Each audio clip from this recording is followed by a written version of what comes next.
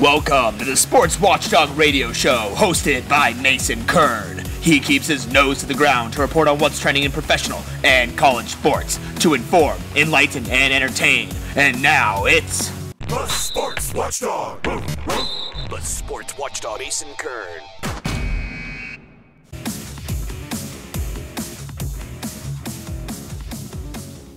Hey everybody, welcome to the Sports Watchdog radio show on NBC Sports Radio AM 1060 Phoenix. I'm your host Mason Kerner with you every Sunday and as always I do have some great stuff in my kennel guys, some great interviews today. The first one, stay tuned for it, it's with Brandon Noble, the former NFL defensive tackle.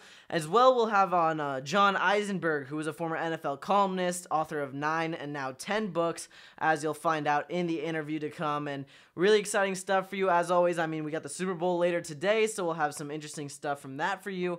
And we'll also have some the always interesting happenings on the hardwood segment. So stay tuned. It's gonna be a great show. Can't wait for it. All right, guys, in sports hot topics this week, like I said, I mean, we got the Super Bowl later today. So I don't think there's a hotter sport topic than the Super Bowl. We'll just get into a little preview for it here based on my own kind of projection of, of how the game is going to go and, and kind of what I've seen just throughout the, the season. Now, obviously, I mean, who doesn't play fantasy football here? I mean, I, I do, first of all. And I had Todd Gurley on my team, was a monster all year. Um, I mean, love to have him um, disappeared kind of in the la- the Rams' last playoff game a little bit. So it's gonna be really interesting to see um, where he kind of fits in because he's obviously such a large part of the Rams' offense. Um, in terms of point production, yards per carry, and, and, and yards after contact.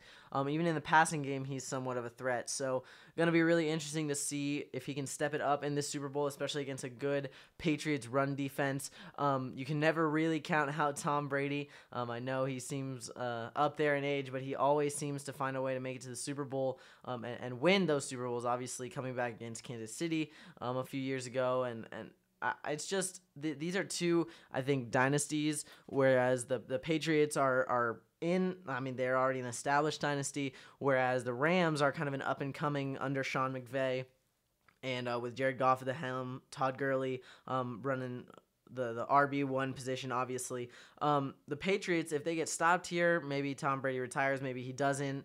Um, I, I've heard that he probably won't um, just based on reporting from from various other sources. Um, but when you look at this game, it's going to come down to whose defense is better. They always say defense wins championships. So I'm really interested to see which defense steps up. Can they stop Tom Brady? Can they stop James White out of the backfield? And and can the Rams defensive line put pressure on the quarterback? Um, that's also going to be something to look for. Um, if if you give Tom Brady enough time, he's going to end up finding um, a, an open Gronk, an open Edelman. Um, these guys who are offensive threats and weapons, who the Rams are obviously preparing for, but pressure on the quarterback is going to be a crucial element here. And uh, the Super Bowl, I mean, forecast, I don't know if I want to put it out there because, um, like I said, you can never bet against Tom Brady. Don't go anywhere because we'll be right back after this. If you're losing your hair or notice that it's getting thinner, listen closely. You can do something about it without messy lotions or drugs. Now you can get clinically proven hair growth results at home with the Hair Max Laser. Hair Max delivers nourishing laser light energy to stimulate hair growth right at the roots. It's FDA cleared, recommended by doctors, and best of all, it has an amazing 93% success rate in clinical studies in both men and women, so you can be sure it works. Use it just three times a week and experience new hair growth, increased density, and healthier, fuller, more attractive hair in just weeks with a five month money back guarantee. Now, for a limited time, save 15% on your HairMax order at hairmax.com. Type in code RADIO at checkout or call 1 800 9 Regrow. That's hairmax.com code RADIO or 1 800 9 Regrow. Experience real hair growth and save 15% with HairMax. Hey everybody, welcome back. You're listening to the Sports Watchdog radio show on NBC Sports Radio AM 1060 Phoenix. I'm your host Mason Kern and joining us now is Brandon Noble, the former NFL defensive tackle for the Dallas Cowboys and Washington Redskins. After leaving the NFL, Brandon coached at the college level at Coastal Carolina and Temple University. Now he's a college football analyst for College Sports Life and the co host of 215 Live, a sports radio show. In June 2017, Brandon served as a spokesperson for the MRSA Survivors Network, an organization formed to raise awareness and educate the public about MRSA. Brandon played college football at Penn State and was named second team All Big Ten following his senior season in 1996 before moving to the NFL. So, with that, Brandon is here to share some details into his football career as well as his involvement with the MRSA Survivors Network and what that all entails. So, with that, hey Brandon, welcome to the Sports Watchdog Radio Show. So glad you could be here today. How you doing? I'm doing well, Mason. I appreciate it, man. That, that, it's always interesting when, when you listen to, to your life back, you know, kind of told back to you, and you go, "Oh yeah, I did that, and I did that," and uh, hope they don't want to talk about that. But no, yeah, I, I appreciate it, man. I'm excited to be on today. Yeah, really appreciate you taking the time. So, first off, before I really get into anything else, I'm always curious to just ask professional athletes and former athletes just how they got into their sport in the first place. So, you playing in the NFL, what was your kind of first start in football, and how did that kind of progress to it becoming becoming a, a job for you? Well, you know, well, so like like most uh, you know kids at about four or five, I saw a football game on TV, and I thought, boy, that looks like a lot of fun. I think it was, right. if I recall correctly, it was the Chicago Bears and the Green Bay Packers. It was probably somewhere around 1978 or so, because I happened to be living in Chicago. I was about four years old, um, and uh, you know, I just saw it, and I was like, wow, like that looks like a lot of fun. Now, the funny thing is, like, my mom wouldn't let me play football until I was in, almost in high school. I was in the eighth grade because she didn't want me to get hurt. Right. No worry, Um, mine too. Yeah, right. And so, and then she wanted me to be a kicker, um, and which I I, out, I outgrew that position exponentially. but uh, but you know what, man? I I was just I've always loved the game, and it's always been a huge part of my life. Whether it was just playing in the backyard with my buddies, uh, or playing, you know, my first year of Pop Warner, which was a bit of a punch in the face. When all of a sudden you show up, and when you show up in the eighth grade, right? You're playing with kids in Pop Warner that have playing since they were, you know, in the second grade. Right. There's a, they, they know what they're doing and you don't. And uh, I definitely got lit up more times than uh, than I, than I care to remember. That first year was uh, was rough, but it set me on the right path. I it got that year over with, and then I went on to uh, to play high school ball. And you know, for me, it was never. It was you know the dream of playing in the NFL was there, right? But it was always just kind of one step at a time. I, I was, I think, fortunate to be able to grow up before social media and kind of all of the stuff we got going on now. I watched my own boy go going through the recruiting process um, and how long it's taking. Like for me, it was just kind of like, okay, I just want to be a good high school football player. Then I just want to, I want to find a college that'll let me play for them. You know what I mean? And then I end up at Penn State. And next thing you know, it's like, man, I, I may go to the NFL. And then next thing you know, you know, nine years later, I'm retiring. So uh, I'm really, really fortunate to have been able to live that dream. Uh, but it was definitely a long process. Yeah, I'm sure, and I mean, obviously, all the, the training and everything that that comes with getting to the the pinnacle and the elite level of the sport. I mean, that that's pretty taxing for sure. But I, also am just curious because you obviously you go from high school to college, playing Division One at Penn State, have a lot of success success there.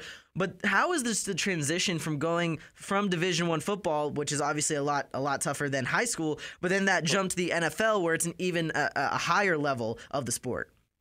it's the you know where the transition is is hard. So the the first time you go out on an NFL football field uh, at practice, right, and you're probably not even in pads, and you realize how fast these guys are and how big they are, and then you go out to a preseason game and you go, holy smokes, this is the fastest football I've ever seen in my entire life. Like it's just it's the blur. Ball snapped and it's just a blur. Uh, and then you get to the regular season, it's even faster. And if you get to play in a playoff game, it's even faster, which is amazing. But really, the biggest Mason, honestly, the biggest transition, the hardest thing to grasp is the mental side of the game, right? And and Right. learning how to become a pro, how to study the game. Because look, you don't in college, you don't watch. I mean, look, these kids now they have access to film a little bit more than I did. I'm gonna date myself a little bit. Like we used VH, we used VHS tapes, right? There was no huddle. I didn't And some people probably don't even know what that is. I know, and I'm gonna make go Google it. Use your phone to Google it. Um, but but so like you know, we didn't watch a lot of film. We watched it. We had the 20 hour rule, so you were you went to practice, you watched some tape, you watched practice. But like when you get to the NFL, man, it is you go in in the morning, you start watching tape. You're looking forward to getting out on the field for the walkthrough and the practice, because if not, you're just sitting in a dark room studying. Right. But I, but for me, that was where I learned I learned the game, and it also is where I was able to really flourish. Like for me, like I'm a six foot one and three quarters, 300 pound nose guard in the NFL, and I am not the fastest guy, the strongest guy. I'm not a creature. Do you know what I mean? I'm not. I'm not Aaron Donald. I'm not Ndamukong Suh. Right. Right. I'm none of those guys. But in the film room, in the meeting room, in the start, when I when it came to those kinds of things, that's where I got my edge. And thankfully, I was around some guys like Chad Hennings and Leon Lett and Greg Ellis, who were old older pros, and they showed me how to do that in Dallas, which I'm super fortunate for. Right, yeah. I mean, having that kind of mentorship, especially, I mean, coming in as a rookie and then just progressing throughout your young career, I mean, I'm sure that was instrumental in kind of some of your success. But like I mentioned in, in kind of the intro, you're you're involved with the MRSA Survivors Network. What, what is your kind of personal uh, experience with this, and, and why did you get prompted to kind of supporting this this initiative? Well, you know, so MRSA ended my career. For for those of your your your listening audience who don't know what it is, Right. uh, it's basically a staph infection that you can't cure with normal medication. They have to bring out the big guns. Uh, and when, when I when I got it, it was something that no one really talked about, no one really even acknowledged very much. And th- there was a string, or kind of a, a, a, a yeah, I guess a string of, of guys in the NFL right around 2004, 2005 when I first got it that that all of a sudden people started talking about it, and so I got involved. I testified in front of a Senate subcommittee hearing. Uh, it was really cool. I mean, I was in D.C. I was playing for the Skins when I got MRSA, um, and it and it MRSA ended my career. Like I said, it, it basically it's an infection, um, and from that I ended up having to have multiple surgeries. I was on all these heavy, heavy, heavy antibiotics. Right. Um, and then I eventually threw multiple blood clots into my lungs, and my wife was like, "That's enough. You're done." Um, and uh, and so so I it, it obviously it became something that I learned a lot about, not because I wanted to. And then I started meeting people that were really really affected. I mean, look, I could have died a couple times. I had MRSA twice. The first time was very very serious, life threatening. The second time they got it early, uh, and then the, the the blood clots almost killed me again but like you realize how close my wife was to being a widow and my kids were being you know to being a father you know not having a father and i started to meet parents that had lost their kids and i started to meet uh you know you know you know brought you know people that lose their parents because of it and just you know it's just a terrible thing that nobody talks about uh and so i got involved with the infectious disease association uh the MRSA survivors network and now i'm, I'm partnered up with clorox uh, to kind of talk about ways you know that you can prevent it because it's still around again and nobody talks about it. I got I got three kids. All of them play sports. Two of them are football players. They live in a locker room. I mean, I stay on top of this because I know what it almost did to me when I was like in the peak shape that you could possibly be in. Right? I mean, like 28 years old, professional athlete, and it almost killed me.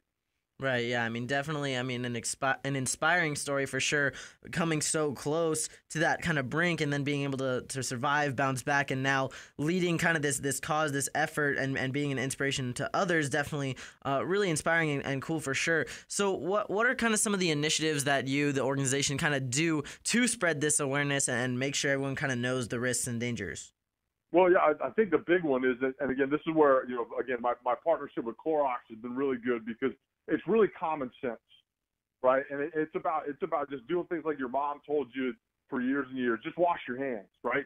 Now, if you're a boy, that's not always the easiest thing to do, right? We're dirty by nature, um, and uh, especially if you're an athlete, right? Then you're going to be that way. But you know, the big one is just wash your hands, soap and water. Especially like again, if you're an athlete or you've got an athlete and they've had some sort of practice or some sort of physical activity and they're not able to, maybe they got to jump in the car and go do some homework. They just wash your hands, right? The other one is is again kind of common sense. Wash your clothes, wash your sports equipment. You know, you if it if it's if it's bleachable, use some sort of, of EPA recommended you know bleach in there. Again, it has to be white. I've bleached enough dark shirts to know not to do that anymore. Yeah, I've, I've had Um, my fair share as well.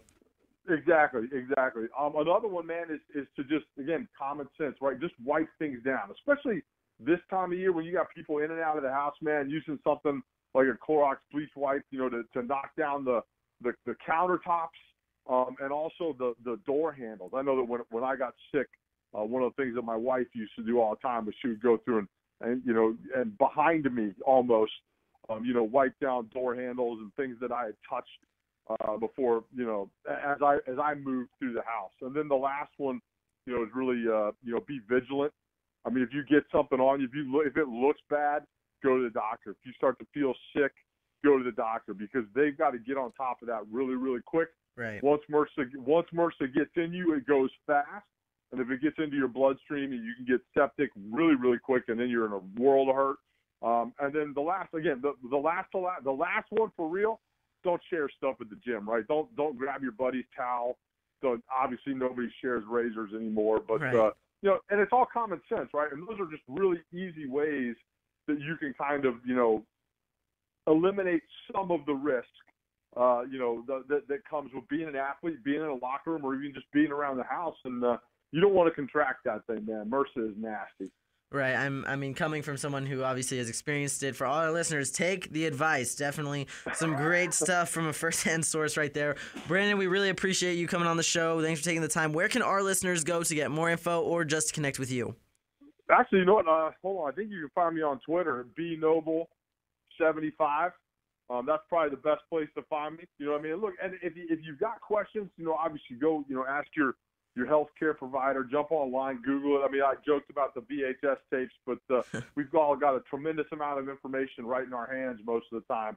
Um, but but be vigilant, you know, especially if you're a parent with kids involved in athletics. It, it's important, and it's simple to, to to stay on top of it. Right. Well, there you go, guys. All right, everyone. The Sports Watchdog Radio Show on NBC Sports Radio, AM 1060. We'll be right back. Hey, travel lovers, if you want to up your luggage game, check out EagleCreek.com, an innovative and durable line that's sustainably made with PVC free materials. One stellar option is the ORV Trunk 36, a big bag crafted for big adventure. It's hard to find upright luggage that puts as much into durable, useful features as this one does. Built with all explorers in mind, the ORV Trunk 36 is lightweight, dependable, and efficient. With wet and dry compartments, multi point handles, a cargo net for internal compression or outside gear attachment, puncture resistant lockable zippers, central lock point security, oversized treaded wheels, padded laptop sleeves, and more, this luggage seemingly has it all.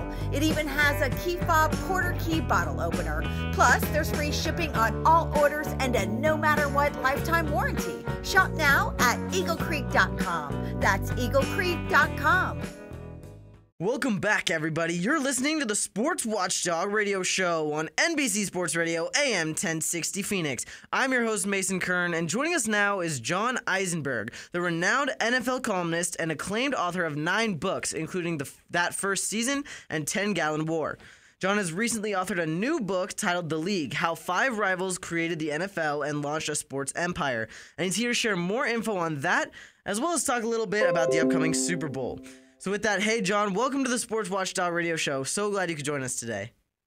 Oh, well, thanks for having me. It's my pleasure. Yeah, really appreciate you taking the time. So, like I said, author of nine books, you've just written a a tenth one. What kind of prompted you, first off, just just to kind of write uh, another book? Well, I've written some books about uh, earlier NFL history. Uh, I grew up in Dallas, and I wrote a couple of books about the early days of the Cowboys, and uh, I wrote a book about Vince Lombardi's first season in Green Bay. And I've always sort of enjoyed going back and taking a, a fresh look at things. And and an editor in New York called me and said, "Would you like to write about the early days of the NFL?" And I said, "Well, sure. It's a great, very interesting time." And he asked me, "What's the story? You tell me what the story is." And I focused, wound up focusing on once you dig into the early days of the NFL, it's it's really staggering to realize uh, how much this league struggled for so many years. And I thought I would focus on that. Just uh, today's uh, readers would not believe how much the NFL struggled, and they wound up focusing on the five owners who who basically carried the league for 20, 30 years, and then eventually set it up to succeed, to, to come out of that difficult era and succeed uh, later down the line. And of course, today it's just an unparalleled success. So I, I thought uh, readers today would be interested in knowing how much this league struggled back then. Right, and and because you were approached and and you were kind of given the whole uh the whole I mean leadership aspect of of creating the whole story as you kind of try and think of a story idea how do you then narrow down okay this is what I'm going to focus on and then narrow it even more to to focus on five kind of key individuals Well, it's a good question because the question was to me, okay, I'm going to focus not on the players, but on the owners, the guys that were basically running the league. The question is which ones. And Right. I did leave some guys out. I mean, I left out Curly Lambeau, who's, uh, you know, and it was, a, I mean, Lambeau Field, the Packers play Right. and he's an, an integral figure. But uh, when you really study the minutes from those meetings, which which you can read at the Hall of Fame, uh, they have a research library there. If you read the early minutes, well, first of all, Curly he didn't own the Packers; they're community owned as they are today, so it wasn't his money. Uh, and he he just wasn't involved as much in sort of the league direction as these other guys were. So after a while, you winnow it down, and you really can't see the guys that made all the key decisions. Right, and and so you, you finally, I guess, narrow it down. You you get kind of the five guys you want to focus on, the the owners, and, and that kind of shapes your story. So why then did the story, or, or how did like choosing these guys? How did why were their stories uh, the ones that kind of reflect the larger story then of, of kind of 20th century, century America as a whole? Oh well, it's definitely 20th century America. These these guys are all they're nothing like today's owners. Uh, today's owners, of course, are titans of industry, and their teams are worth billions of dollars. Right. And uh, these guys were sons of immigrants. Um, they they were from. Uh, they didn't have a lot of money. I mean, Bert Bell, who started the Philadelphia Eagles and later was commissioner of the NFL, he came from money. The rest of them did not. These were sons of immigrants, working class. They'd worked their way up a little bit to the point where they could buy a team and start a team. Of course, not a lot of money to do that. So uh, it's really no different than, as I look at it, like uh, and you know, an immigrant an immigrant tale. It's not different than Henry Ford in the car, you know, in 20th century Right. America, or the guys that did the the cathode ray tube and started television. I mean, this is uh, pro football. I mean, it is not as integral to society as as those things, but as a as a success story, it it, it does parallel, and and that's what these guys did. Right, and then having, I mean, kind of the ability to tell these guys stories, and and, and as an NFL columnist yourself, like I, like I mentioned earlier. wh- What has been kind of just the maybe a favorite story, uh, either in the book or, or elsewhere, that you've kind of experienced having covered just the NFL for such a long period of time? Well, certainly in this book, the stories that struck me. I mean, we're talking about George Halas here, who started the Chicago Bears, and his family still owns the Chicago Bears. His daughter owns the Chicago Bears. Uh, she's still alive. Wow. Uh, Virginia. She's 96 years old. They're worth three billion dollars now. But uh, if you go back to say George, he was trying to get it going in the 20s and the 30s, uh, especially after the stock market crash. I mean, the, he, to keep the Chicago Bears alive, he won uh one off season robbed his didn't rob but he asked his kids can i borrow the money in your college savings account? Wow. and and they said yeah we'll do it. Virginia she told me this story. And so they were really i mean he was taking money from college savings accounts. One year he didn't have money to pay his players and these are famous players uh, bronco nagurski red grange iconic names he gave them ious instead of salary one year because he he just didn't have the money Right. and and what was really incredible is they took the IOUs. They said, "Okay, we'll we'll go for that." So the stories like that are just so much uh, in conflict with what we see the NFL as today, and I, I just found it fascinating. There's many many stories from that era like that. Right, and and kind of in terms of that difference from today's owners versus those uh, in the 20th century that you're kind of highlighting in this in this book, what makes the these owners kind of so different, and, why were the owners of, of before able to succeed in the in kind of different ways that the owners of today are? Well, they what these guys did was work together. Uh, it, it's important to understand that there was very little money on the table, no television. Uh, you know, there was no television yet, very little money from radio. It was just ticket sales or ads for programs, and it wasn't very much. So they understood that even though the dynamic was this, even though their teams were rivals, we're talking the Bears, the Giants, the Redskins, they were trying like crazy to beat each other they understood that they were partners in the business of pro football and they had to work together uh the co- sense of collaboration was incredible I, I don't think you see that in the nfl today uh one example a great example the best example is the draft all right i mean you get to like the mid 1930s there there was no system for distributing talent it was just college players. You ended your eligibility, and everybody bid on the players, and the best guys went to the rich teams, the Giants, the Bears. And so Bert Bell, who'd started the Eagles and couldn't get any players, they were at the bottom of the barrel. He stood up at a league meeting and he said, um, "Gentlemen, I'm going to be out of business here soon, and and and you might be too, because we're going to have a boring league if you win all the time. We have to come up with some way to level the playing field." And the teams that had everything, I'm talking Halas and Tim Mara, who started the Giants, they immediately saw, you know, he's right. And so they went with the idea of a draft, even knowing that it was going to undermine their success. And never again would they dominate like they did, but it would make the league as a whole better. So, uh, you know, putting the greater good ahead of everything uh, is a is a wonderful ability, a wonderful knack, and these guys did have it. And I, I'm not so sure you see that in the NFL today. Right. Well, definitely a really interesting story there. I'm sure there's so many more in the book, but we're running out of time, John. Thank you so much. Where can our listeners go to get more info, find the book, or just connect with you?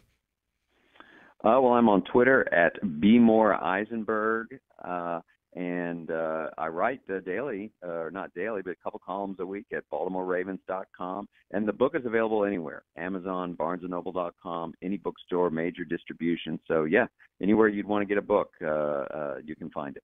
Well, there you go, guys. Once again, the title The League How Five Rivals Created the NFL and Launched a Sports Empire. John, thank you so much again for your time. All right, everyone, the Sports Watchdog radio show on NBC Sports Radio, AM 1060. will be right back after this quick break. You're tired of hair falling flat, check out the NPBeautiful.com flat iron by celebrity hairstylist David Babaii, known for Kate Hudson's beachy waves. This sleek modern iron is curved, allowing for endless styling options like waves, flips, curls, and ringlets. Innovative rose gold vibrating plates heat up to 400 degrees, shuffling the hair back and forth to minimize tugging, slipping, or pulling. And 10% of net proceeds support pediatric cancer and animal welfare causes. Find it at npbeautiful.com. You ready to hoop it up? This is Happenings on the Hardwood. All right, guys, it's your favorite segment. It's happening on the hardwood. I mean, you guys know it's my favorite segment. And this week, a lot of talk, obviously, about Anthony Davis um, putting in a trade and and or a request for one. Got fined fifty thousand for making it public in the way that he did. Um, and, and kind of LeBron courting him. Uh, sources are saying he wants to go to LA in 2020, and anywhere else will be a one year rental next year um, in, in, terms of trade packages. Uh, the Knicks have also come out as a front runner of a preferred destination for Davis. Um, but that that whole drama, that whole saga, wasn't even really the biggest news piece this week because later in the week, uh, the New York Knicks and Dallas Mavericks have agreed to a blockbuster trade. Um, there was a Woj bomb on Thursday. And it was a, it's really shaking up the league a little bit. Uh, Kristaps Porzingis uh, met with New York executives and, and the GM and, and said basically that the culture um, does not really suit him. It doesn't seem like uh, anyone really wants to win. I'm obviously paraphrasing. Um, but uh, so he kind of left the New York Knicks a feeling that he would rather prefer to be traded elsewhere. Um, and and not really even hours later, Kristaps Porzingis is not a New York Knick. So the Dallas Mavericks uh, sent a package of Wesley Matthews, DeAndre Jordan, Dennis Smith Jr., who was already on the trade block, um, and two future first round picks in exchange for a New York Knicks package of Kristaps Porzingis, uh, Trey Burke, Courtney Lee, and Tim Hardaway Jr. Um, so definitely shaking things up. A lot of good role players. Obviously, DeAndre Jordan back when he was in uh, LA with the Clippers, um, with the kind of big three there with him and Blake Griffin and Chris Paul. Uh, Lob City was was a pretty dynamic force uh, at center. So we'll see if he can make an immediate impact in New York. Uh, Dennis Smith Jr. was already kind of uh, on the trade block after the emergence of obviously Luka Doncic playing so well this year, um, and then Wesley Matthews, another another kind of I would say underappreciated shooting guard um, who can who can make some things happen. Trey Burke averaging 11.8 points per game this year. Um, he's a serviceable backup guard uh, for Dallas, uh, who will back up Doncic, obviously. Um, and then Courtney Lee and Tim Hardaway Jr. I would say Courtney Lee's more of the vet. Won't probably see as many minutes, but he'll still get his time in. Um, and then Tim Hardaway Jr. signed a pretty big extension last year, um, and, and he'll play that out in, in Dallas the remainder of it at least. But he is pretty streaky. You if you can't contain him, he'll go off for 30 on a night. So some some good pieces for both teams, but the Kristaps Porzingis era is done in New York. He is currently injured, not playing right now, but once he does, I mean, a, a, European star duo of Doncic and Porzingis is pretty formidable. And then obviously with the remainder of Dirk Nowitzki's uh, time in Dallas, um, training them up, it'll be interesting to see how that chemistry uh, progresses. Well, that's a wrap, everyone. Anybody wanting to connect with me, the Sports Watchdog, on Twitter can do so at a Sports Watchdog, and on Instagram, Facebook, and YouTube as well at the Sports Watchdog. So until next time, keep your eye on the ball. The Sports Watchdog. The Sports Watchdog, and Kern.